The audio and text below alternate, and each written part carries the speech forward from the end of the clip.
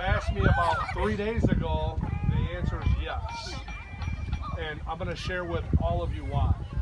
And your answer should be the same as mine after you hear um, what I have to say. So some of you may know um, I'm on Facebook every now and then.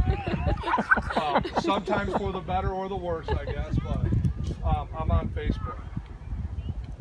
Um, I'm going to share something with all of you.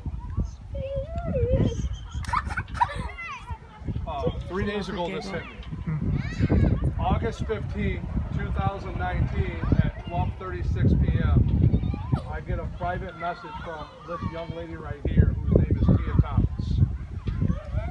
Hey, this is how these typically go, right? hey, I'm not sure how to go about it, but I saw your post about the parks. I must have put a post up about the parks project. I'm super excited to see something getting done with them. As we aren't in town, I'd love to share an input with you, and maybe it's something that can be done.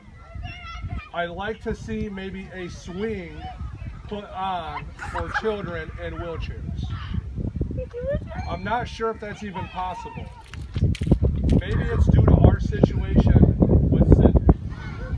I've also seen quite a few children in wheelchairs recently that are out and about. And I just thought that would be amazing. Just a thought. At that time, Tia said, thank you for all you do for the community. Your second term is around the corner. Wink, wink. My response, I promise this is going to get done. One thing that I know, being an elected official, you never promise something unless you know that it can get done. And I said, I agree. She said, thank you so much. I said, it will probably be year two of my second term if re-elected. Funding is currently being worked on. Okay, that's no problem. Fingers crossed for Sydney. Sydney will be walking. Prayers crossed, Sydney will be walking, but there are quite a few children that could benefit from it. And I think it would be amazing.